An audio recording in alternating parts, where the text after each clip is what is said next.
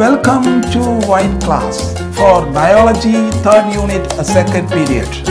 Dear students, നമുക്ക് കൃഷി ചെയ്യണമെന്ന് ആഗ്രഹമുള്ളവരാണ് അല്ലേ?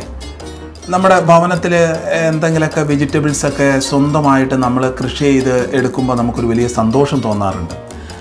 എന്നാൽ നമ്മൾ പലപ്പോഴും ആ ഒരു കാര്യത്തിലധികം താല്പര്യം കാണിക്കാറില്ല. പലരോടും ചോദിച്ചാൽ അവർ പറയുന്ന ഒരു പ്രധാനപ്പെട്ട കാര്യം എന്ന് പറയുന്നത് വിത്തുകൾ കിട്ടാഞ്ഞിട്ടല്ല വളവും ഇല്ലാഞ്ഞിട്ടല്ല പക്ഷേ ഈ കീടങ്ങളുടെ ആക്രമണം ദ പെസ്റ്റ് അല്ലേ? വളരെ വേഗത്തിൽ നമ്മൾ കൃഷി ചെയ്യുന്ന ആ കൃഷി വിളകളെ പെട്ടെന്ന് നശിപ്പിച്ച് കളയും.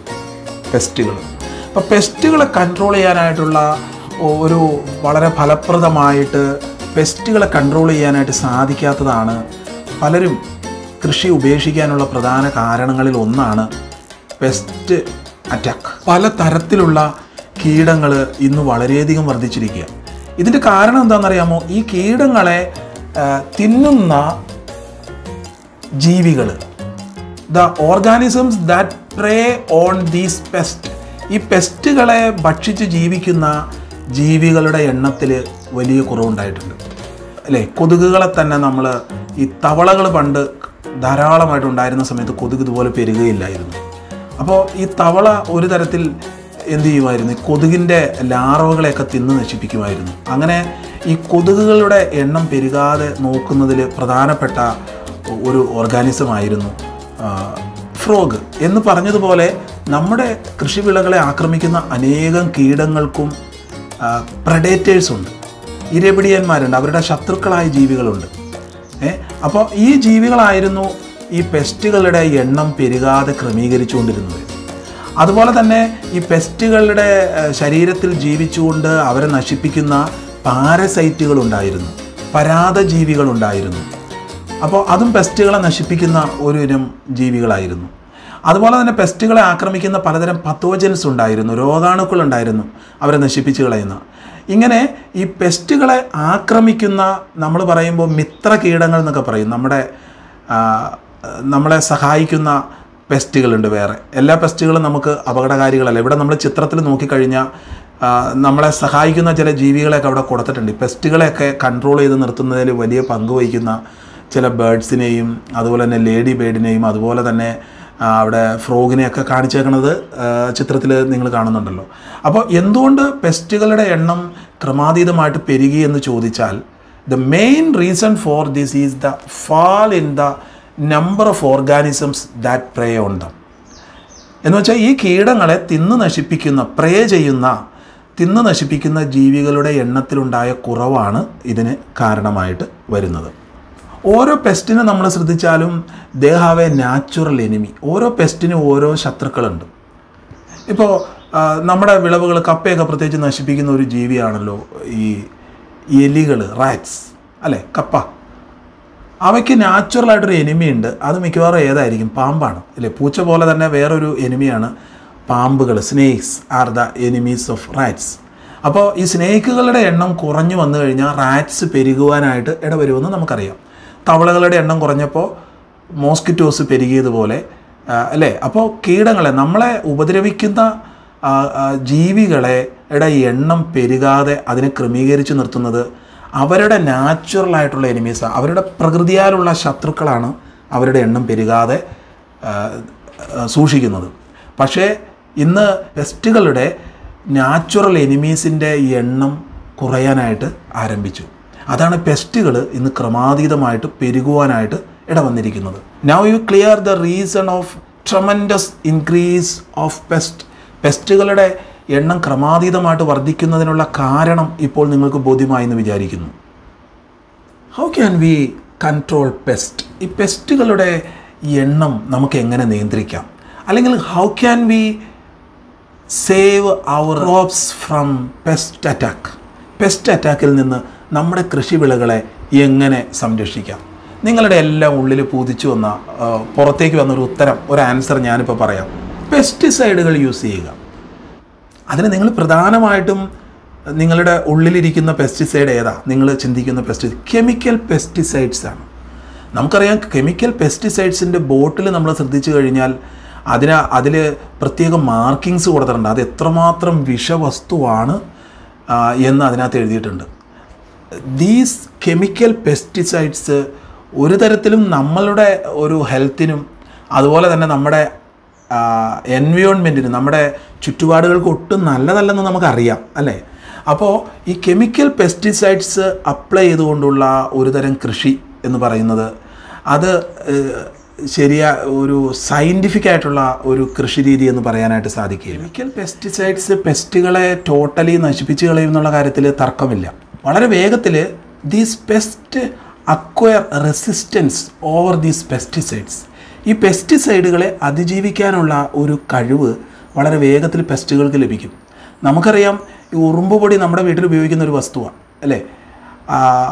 അത് ആദ്യമൊക്കെ ഉറുമ്പുകളെ നശിപ്പിക്കുമായിരുന്നു. പിന്നീടായപ്പോൾ അതിനെയൊക്കെ ഓവർകം ചെയ്യാനായിട്ട് കഴിയുന്ന ഉറുമ്പുകൾ ഉണ്ടാവാൻ തുടങ്ങി. അപ്പോൾ അങ്ങനെ വരുമ്പോൾ കുറച്ചുകൂടെ ശക്തി കൂടിയ അല്ലെങ്കിൽ കൂടിയ അളവിൽ പെസ്റ്റിസൈഡ് നമ്മൾ യൂസ് ചെയ്യേണ്ടി വരും. അപ്പോൾ ഇങ്ങനെ കൂടിയ അളവിൽ പെസ്റ്റിസൈഡ് യൂസ് ചെയ്യുമ്പോൾ അത് നമ്മുടെ അണ്ടർഗ്രൗണ്ട് വാട്ടറിലൂടെ അതുപോലെ തന്നെ വെജിറ്റബിൾസിലൂടെ നമ്മുടെ നമ്മൾ കഴിക്കുന്ന ഫുഡ് മെറ്റീരിയൽസിലൂടെ നമ്മുടെ ശരീരത്തിലേക്ക് എത്താൻ തുടങ്ങി. അങ്ങനെ അത് പല ഹെൽത്ത് ഇഷ്യൂസ് ഉണ്ടാക്കാൻ തുടങ്ങി. അപ്പോൾ ഈ പെസ്റ്റിസൈഡുകൾ കെമിക്കൽ പെസ്റ്റിസൈഡ്സ് യഥാർത്ഥത്തിൽ അതിന്റെ ഉപയോഗം നമ്മൾ മിനിമൈസ് ചെയ്യേണ്ടതാണ്. അപ്പോൾ ഈ കെമിക്കൽ പെസ്റ്റിസൈഡ്സ് ഇല്ലാതെ പിന്നെ എങ്ങനെ നമുക്ക് പെസ്റ്റുകളെ കൺട്രോൾ ചെയ്യാനായിട്ട് സാധിക്കും? നമുക്കറിയാം എല്ലാ എല്ലാത്തരം പെസ്റ്റുകൾക്കും നാച്ചുറലായിട്ടുള്ള എനിമീസ് ഉണ്ട്. ഓരോ കീടത്തിനും പ്രകൃതിയിൽ തന്നെ അതിന്റെ ശത്രുവുണ്ട്. അതിന്റെ എണ്ണം പെരുകാതെ സൂക്ഷിക്കാനായിട്ട് അതിന് ശത്രുക്കളുണ്ട്. ഇപ്പോൾ എലികളാണെങ്കിൽ അതിന്റെ എണ്ണം പെരുകാതെ പ്രകൃതിയിൽ എന്തുണ്ട്? നാച്ചുറലായിട്ട് നോക്കിക്കഴിഞ്ഞാൽ പാമ്പുകളുണ്ട് സ്നേക്കുകളുണ്ട് അതുപോലെ കൊതുകുകളുടെ എണ്ണം പെരുകാതെ നോക്കാനായിട്ട് എന്തുണ്ടാകും?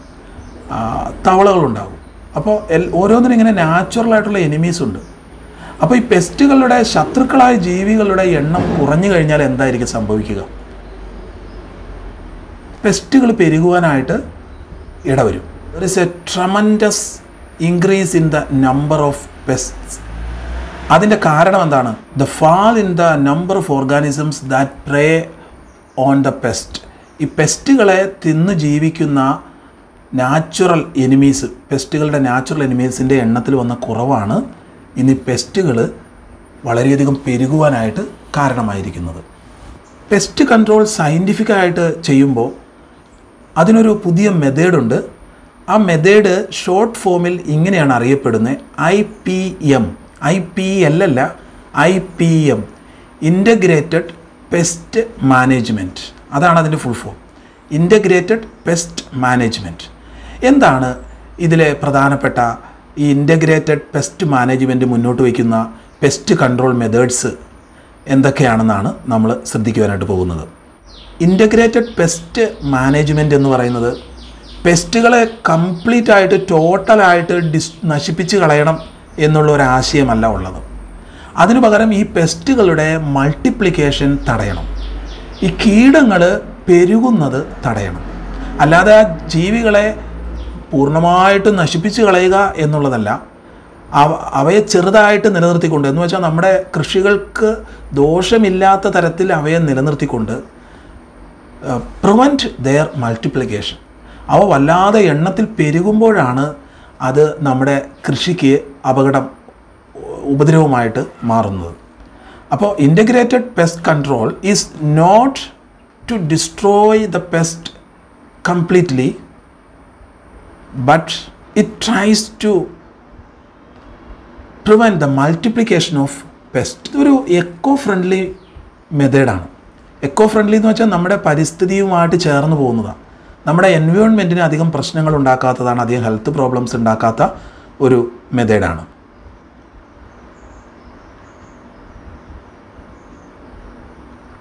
അപ്പോൾ എങ്ങനെ നമുക്ക് ഈ പെസ്റ്റുകളുടെ മൾട്ടിപ്ലിക്കേഷൻ തടയാൻ പറ്റും?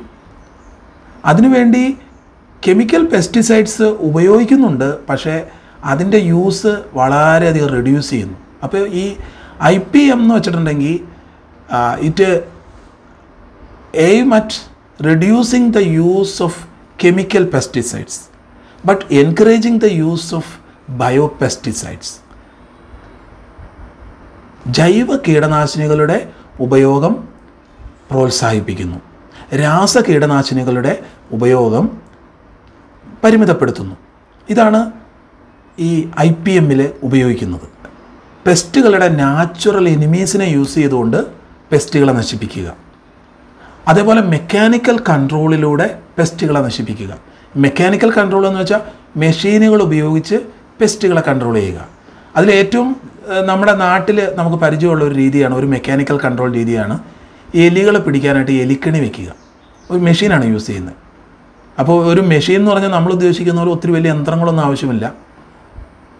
ഒരു എലിക്കത്രിക അല്ലെങ്കിൽ എലിക്കണി എന്ന് പറയുന്ന ഒരു റാറ്റ് ട്രാപ്പ് എന്ന് പറയുന്നത് തന്നെ ഒരു ചെറിയ മെക്കാനിക്കൽ കൺട്രോൾ മെത്തേഡ്സാണ് ഐ പി എമ്മിനെ കുറിച്ച് നിങ്ങൾക്കിപ്പോൾ എന്തൊക്കെ മനസ്സിലായി? I P M its full form integrated pest management it's aim is to prevent the multiplication of pests by by minimizing the application of chemical pesticides but promoting or encouraging uh, the use of biopesticides and by natural control using natural enemies of the pest and by mechanical control യാന്ത്രിക നിയന്ത്രണം biological control ജൈവിക നിയന്ത്രണം. What are the advantages of I P M I P എമ്മിന്റെ advantages എന്താണ്? ഇത് it is very good for our health it causes no health problem it causes no എൻവയോൺമെന്റൽ problem this method is very cheap ഇതൊക്കെയാണ് integrated pest management രീതിയുടെ മേന്മകൾ. ആരോഗ്യ പ്രശ്നങ്ങളിൽ നിന്ന് രക്ഷപ്പെടാം. പരിസ്ഥിതി മലിനീകരണം ഉണ്ടാക്കുന്നില്ല. അതുപോലെ തന്നെ സാമ്പത്തിക ലാഭം ഇതിനകത്തുണ്ട്. എന്താണ് സസ്റ്റൈനബിൾ അഗ്രികൾച്ചർ സുസ്ഥിരമായ കൃഷി എന്ന് വെച്ചാൽ എന്താണ്? വളരെ ആദായകരമായ ഒരു കൃഷിരീതി ഒരു ഒരു മെത്തേഡാണ് സസ്റ്റൈനബിൾ അഗ്രികൾച്ചർ എന്ന് പറയുന്നത്. Diverse crops are seen in the field ഒന്നിൽ കൂടുതൽ വിളവുകൾ വിളകളാണ് ഒന്നിച്ച് കൃഷി ചെയ്യുന്നത്. അപ്പോൾ ഒന്നിന്റെ വേസ്റ്റ് മറ്റൊന്നിന് ഫെർട്ടിലൈസറായിട്ട് യൂസ് ചെയ്യാനായിട്ട് സാധിക്കും. അപ്പോൾ decaying matter or waste from one crop is used as manure for other crop അപ്പോൾ ആ രീതിയിൽ വേ ഒരു വേസ്റ്റും ബാക്കി വരികയില്ല. നോ വേസ്റ്റ് റിമെയിൻസ് അതുപോലെ തന്നെ നേറ്റീവ് വെറൈറ്റീസ് ഓഫ് ക്രോപ്സ് ആണ് കൃഷി ചെയ്യുക. നാടൻ ഇനങ്ങളെ കൃഷി ചെയ്യുന്നു. അപ്പോൾ ഈ സസ്റ്റൈനബിൾ അഗ്രികൾച്ചർ എന്ന് വെച്ചാൽ diverse crops in the same ഫീൽഡാണ് ഒരു ക്രോപ്പിന്റെ waste or decaying matter is applied as manure to other crop ഒരു വിളവിന്റെ വേസ്റ്റുകൾ മറ്റൊരു കൃഷിക്ക് ഒരു കൃഷിയിൽ നിന്ന് ലഭിക്കുന്ന വിളവ് ഒരു കൃഷിയിൽ നിന്ന് ലഭിക്കുന്ന വേസ്റ്റുകൾ മറ്റൊരു കൃഷിക്ക് വളമായിട്ട് യൂസ് ചെയ്യുന്ന ഒരു രീതിയും കൂടിയാണിത്. ഈ സസ്റ്റൈനബിൾ അഗ്രികൾച്ചറിൽ നേറ്റീവ് വെറൈറ്റീസ് ഓഫ് പ്ലാന്റ്സ് ആണ് സാധാരണയായിട്ട് യൂസ് ചെയ്യുന്നത്. നാടൻ ഇനങ്ങളാണ് സാധാരണയായിട്ട് ഇതിനകത്ത് ഉപയോഗിക്കുക. ഇന്ന് നമ്മുടെ സമൂഹം നേരിടുന്ന ഒരു വലിയ പ്രശ്നമാണ് വേസ്റ്റ് ഡിസ്പോസൽ. മാലിന്യ നിർമ്മാർജനം. വീട്ടിലുണ്ടാകുന്ന വേസ്റ്റുകളൊക്കെ എന്ത് ചെയ്യും? റോഡ് സൈഡിലൊക്കെ കൊണ്ടുപോയി ആരും കാണാതെ നിക്ഷേപിക്കുന്ന ഒരു രീതി. അപ്പോൾ ഇന്ന് നമ്മുടെ സമൂഹം നേരിടുന്ന ഒരു വലിയ പ്രശ്നമാണിത്. ഈ സസ്റ്റൈനബിൾ ഡെവലപ്മെന്റ് ഇതിനൊരു മറുപടിയാണ് ഇതിനൊരു ഉത്തരമാണ്. എങ്ങനെ വേസ്റ്റുകൾ നമുക്ക് യൂസ് ചെയ്യാനായിട്ട് സാധിക്കും? അതിൽ പല രീതികളും നിങ്ങൾ കേട്ടിട്ടുണ്ട്. കമ്പോസ്റ്റിംഗ് വളമായിട്ട് മാറ്റാനായിട്ട് സാധിക്കും. പലതരം വേസ്റ്റുകളിൽ നിന്ന് ബയോഗ്യാസ് നമുക്ക് യൂസ് ചെയ്യാനായിട്ട് സാധിക്കും. ബയോഗ്യാസ് മേക്ക് ചെയ്യാനായിട്ട് ഉപയോഗിക്കാം. അതുപോലെ ഫോഡർ പ്രൊഡക്ഷന് വേണ്ടി പല വേസ്റ്റുകളും മറ്റ് ജീവികൾക്ക് ഭക്ഷണ വസ്തുവായിട്ട് മാറ്റാനായിട്ട് സാധിക്കും. ഫോഡർ പ്രൊഡക്ഷൻ പോൾട്രി ഫോഡർ കോഴികൾക്കുള്ള ഭക്ഷണമായിട്ട് മാറ്റാൻ പറ്റും. ചില വേസ്റ്റുകൾ ഫിഷ് ഫീഡ് ഉണ്ടാക്കാൻ പറ്റും. അപ്പോൾ വേസ്റ്റുകൾ കമ്പോസ്റ്റിങ്ങിന് കമ്പോസ്റ്റുകൾ പ്രൊഡ്യൂസ് ചെയ്യാനായിട്ട് സാധിക്കും. വേസ്റ്റുകൾ ഉപയോഗിച്ച് ബയോഗ്യാസ് പ്ലാന്റുകൾ നിർമ്മിക്കാനായിട്ട് പറ്റും. അതുപോലെ പലതരത്തിലുള്ള ഫോഡറുകൾ തീറ്റകൾ കോഴികൾക്കും അതുപോലെ തന്നെ ഫിഷസിനുമുള്ള ഫോഡറുകൾ ഇതിൽ നിന്ന് നിർമ്മിക്കാനായിട്ട് സാധിക്കും. ഡിയർ സ്റ്റുഡൻസ് നമ്മൾ കൃഷി എന്ന് കേട്ടാൽ പെട്ടെന്ന് നമ്മുടെ ഒരു ചിന്ത എന്ന് വെച്ചാൽ കുറേ പ്ലാന്റ്സിനെ ഇങ്ങനെ നട്ടുപിടിപ്പിച്ച് അതിനെ വളർത്തി എടുക്കുന്ന രീതിയാണ് കൃഷിയെന്ന് നമ്മൾ പറയും. പക്ഷേ ഈ സസ്റ്റൈനബിൾ അഗ്രികൾച്ചർ എന്ന് വെച്ചാൽ അതിൽ പലതരം കൃഷികളുണ്ട്. കേവലം പ്ലാന്റ്സിനെ മാത്രം നമ്മൾ വളർത്തുക സസ്യങ്ങളെ മാത്രം പരിപാലിക്കുക എന്നുള്ളതല്ല അത് മാത്രമല്ല കൃഷിയിൽ വരിക. പലതരത്തിലുള്ള അനിമൽസിനെ ബേഡ്സിനെ എല്ലാം വളർത്തുന്നതും ഈ കൃഷിയിൽ വരും. ഏതെല്ലാം തരത്തിലുള്ള മേഖലകൾ ഈ കൃഷിയിലുണ്ട് എന്ന് നമ്മൾ അടുത്തതായിട്ട് മനസ്സിലാക്കുന്നു. അതിലൊന്നാണ് ലൈവ് സ്റ്റോക്ക് മാനേജ്മെന്റ് ഈ ലൈവ് സ്റ്റോക്ക് മാനേജ്മെന്റ് എന്ന് വെച്ചാൽ rearing cows buffaloes and goats ഇതൊക്കെയാണ് അതിന്റെ ഒരു പരിധിയിൽ വരുന്നത്. എരുമകൾ പശു അതുപോലെ തന്നെ ആട് വളർത്തലൊക്കെയാണ് ഇതിൽ വരിക. ഇവയിൽ നിന്ന് എന്തൊക്കെ നമുക്ക് ലഭിക്കുമെന്ന് ചോദിച്ചാൽ എന്തിനാണ് പ്രധാനമായിട്ടും ഇവയെ വളർത്തുന്നത്? മിൽക്ക് ആൻഡ് മീറ്റ് അത് രണ്ടിനും വേണ്ടിയാണ് ഈ ലൈഫ് സ്റ്റോക്ക് മാനേജ്മെന്റിൽ പ്രാധാന്യം കൊടുക്കുന്നത്. പ്രധാനമായിട്ട് ഇതിന് പല ഈ ക്യാറ്റിലെ ഇമ്പോർട്ടന്റ് വെറൈറ്റീസിനെ നിങ്ങൾക്ക് കാണാനായിട്ട് സാധിക്കും. പശു തന്നെ ജേഴ്സി പശു ഉണ്ട് ഹോൾസ്റ്റൻ ഫ്രീഷ്യൻ ഉണ്ട്. അതുപോലെ വെച്ചൂർ പശു ഉണ്ട് അതുപോലെ ബഫല്ലോയെ നമ്മൾ നോക്കുകയാണെങ്കിൽ മുറ എന്ന് പറയുന്ന ഒരു ബഫല്ലോ ഇനമുണ്ട്. നീലിരാവി ബദാവരി ആടുകൾ തന്നെ ബോറുണ്ട് തലശ്ശേരി ആടുകളുണ്ട് ജമുനാപ്പാരി ഉണ്ട്. അങ്ങനെ ഡിഫറെന്റ് വെറൈറ്റീസ് ഉണ്ട്. മറ്റൊരു മേഖലയാണ് പോൾട്രി ഫാമിംഗ് കോഴിക്കൃഷി അതിനകത്ത് പക്ഷികൾ പലതരത്തിലുള്ളത് വരും. അതിൽ ഒന്ന് ചിക്കൻ ഉണ്ട് അതുപോലെ ഡക്ക് ഉണ്ട് അതുപോലെ ക്യൂയിലുണ്ട് കാട. അതിൽ ചിക്കൻ വെറൈറ്റി നമുക്കറിയാം പല വെറൈറ്റി ഇനങ്ങളുണ്ട്. അതിൽ അതുല്യ ഗ്രാമലക്ഷ്മി വൈറ്റ് ലെഗോൺ അങ്ങനെയുള്ള കോഴി വർഗങ്ങളുണ്ട്. താറാവുകളാണെങ്കിൽ മസ്കോവി ചാര ചെമ്പല്ലി തുടങ്ങിയ വെറൈറ്റികളാണ്. ഡക്ക് ഡക്ക് പലതരത്തിലുള്ള ഡക്കുകൾ അതുപോലെ കുയിലുകൾ കാടകൾ ജാപ്പനീസ് ബോബ് വൈറ്റ് ഇവയാണ് പ്രധാനപ്പെട്ട ഐറ്റംസ്. മറ്റൊരു അഗ്രികൾച്ചറൽ ഫീൽഡാണ് സെറിക്കൾച്ചർ എന്ന് പറയുന്നത്. സെറിക്കൾച്ചർ എന്ന് വെച്ചിട്ടുണ്ടെങ്കിൽ പട്ടുനൂൽ കൃഷിയാണ്. Rearing silk worms for the production of natural silk അതാണ് സെറിക്കൾച്ചർ അപ്പോൾ സെറിക്കൾച്ചർ എന്ന് കേട്ടാൽ നമുക്ക് സിൽക്ക് മൾബറി ലീവ്സ് എല്ലാം ഓർമ്മ വരും.